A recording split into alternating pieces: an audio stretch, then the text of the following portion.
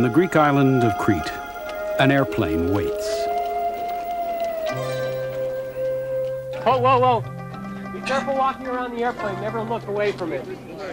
It's a delicate, pampered machine, attended by a team of more than 40 designers, builders, pilots, and helpers. Listen for that rubbing in flight. If you hear any rubbing, we need to know. They have spent three years and nearly a million dollars preparing for a single 72 mile flight across the Aegean Sea. A modest goal, perhaps, except for one thing. The engine is a human being. Δεν είχε κανένα κινητήρα μέσα με χιλιάδες ύπους όπως έχει ένα τζετ. Ήταν ένας άνθρωπος που με τη μυϊκή του δύναμη πετούσε ένα αεροπλάνο. Ό,τι έκανε και ο Δέδαλος.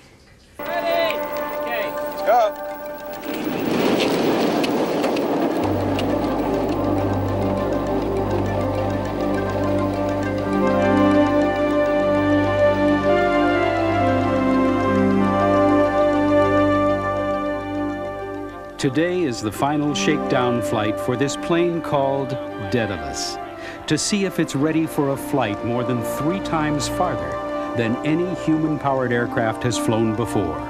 The last unknown of a bold experiment in aeronautics, material science, and physiology. Everything that can be tested has been tested, but no one can predict a gust of wind or a muscle cramp or any other mishap. But then those who push the limits of technology have always courted disaster. A few miles away lie the ancient ruins of Knossos, where a mythical inventor named Daedalus was said to have been imprisoned 3,000 years ago, along with his son, Icarus. Daedalus built wings of feathers and wax so that he and his son could fly to freedom across the sea. But Icarus was overwhelmed by the power and flew too close to the sun, which melted his wings. While Daedalus, who flew with more restraint, made it safely across.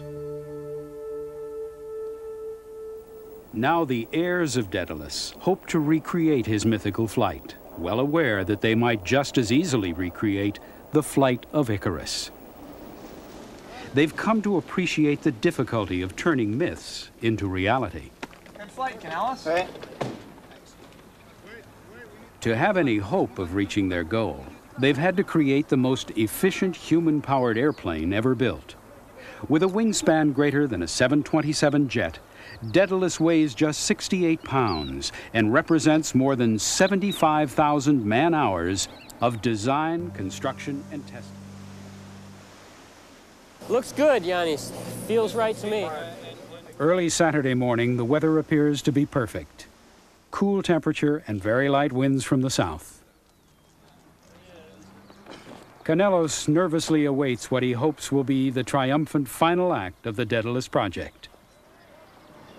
Uh, command boat, this is takeoff site. Just got an update from the inflatable that was 1.6 to 2.1 meters per second from the south.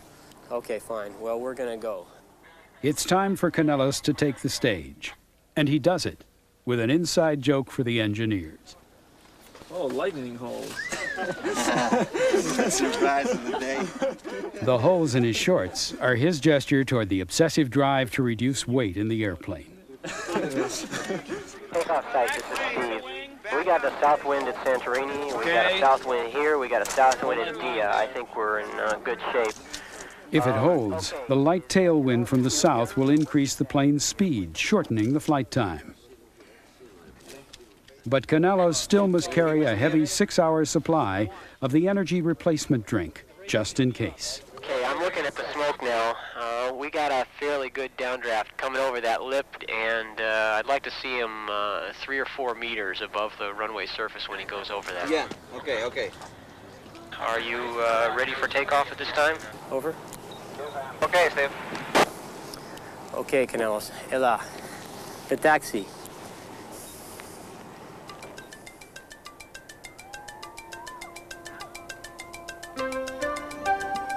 take off. He's up. Well, the research part of this project is officially over.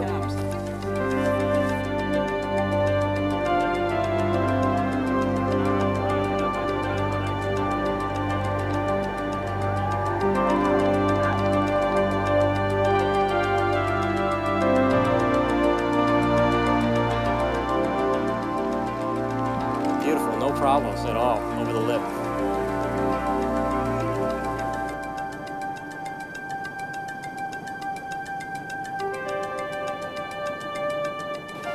Awesome. Really good, Canellis. Looks great. Awesome! Here we go! Woohoo!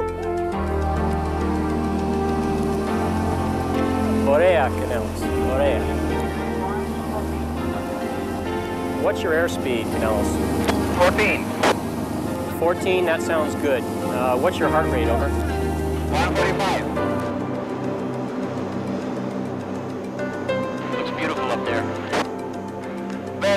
Perfect. My pulse now goes to 30s, upper 30s. The Greek Navy, Coast Guard, and Air Force are on hand for emergency support and to keep the pathway clear. But Daedalus doesn't seem to need any help. The plane and pilot perform beautifully, and with a boost from the tailwind, the only concern is that it will all be over too soon.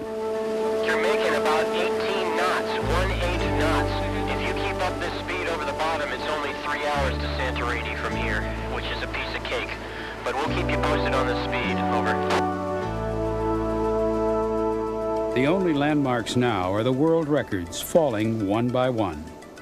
First down is the Gossamer Albatross straight line record of 22 miles.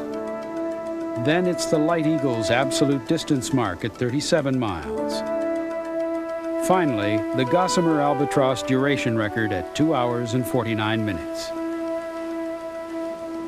But the records have become almost a footnote to the experience. The greater satisfaction now comes from the realization of a dream, a modern mythical creature, half man, half machine, living out the earliest fantasy of flight.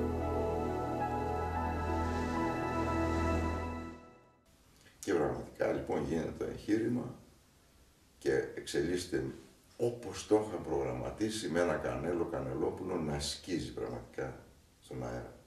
Να πετάει λες και είχε μηχανή μέσα. Λες και.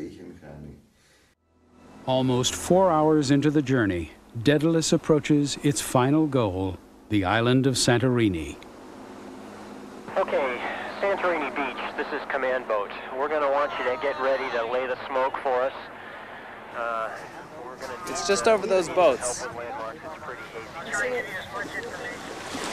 The flight has been flawless, almost routine.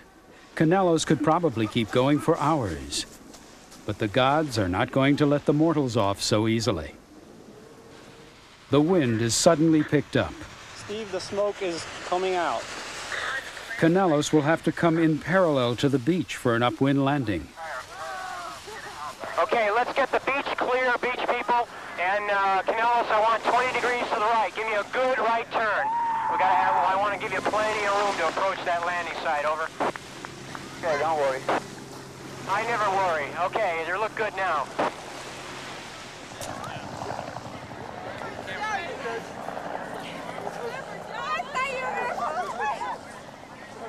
Okay, we've got a big headwind here. We're barely making any way at all. Um, Kanelos, uh, that looks good. Maintain this heading.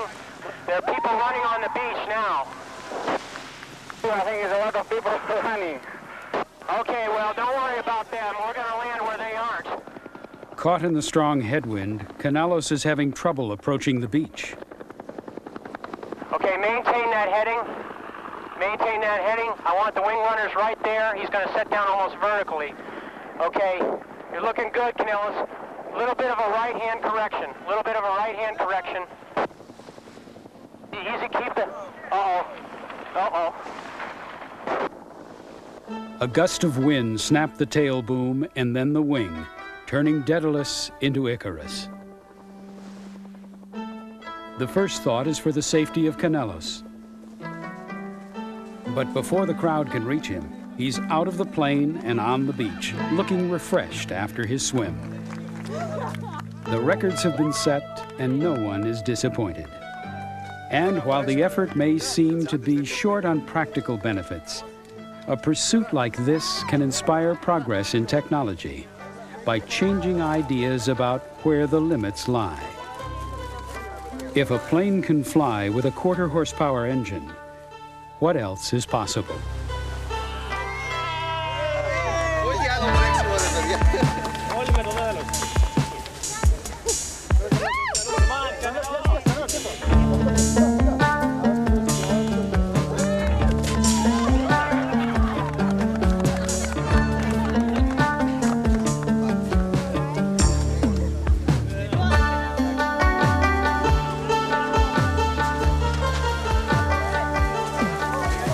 How you doing? Oh, pretty good. Would have been a little nicer if we hadn't broken it up, but it's good to be here. It's a long flight. That was easy. Huh? That was easy. The landing, the landing was the most difficult part. Ah, well, we, we are not the right weather. Yeah.